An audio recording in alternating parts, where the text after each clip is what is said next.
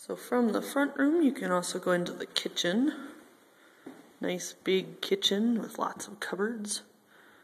You can see where they started to prep to redo the walls.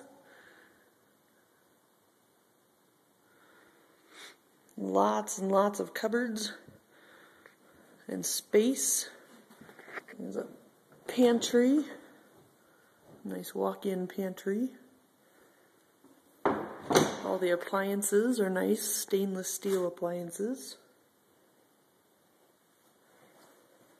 An island and a dishwasher, yay! They have the fridge pulled out because it has water that runs to it, so they pulled it out to winterize it.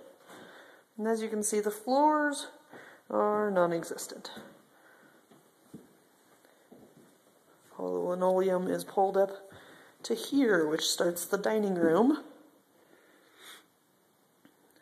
Nice light fixtures. And those are two bedrooms. And that's the laundry room and a closet next to it.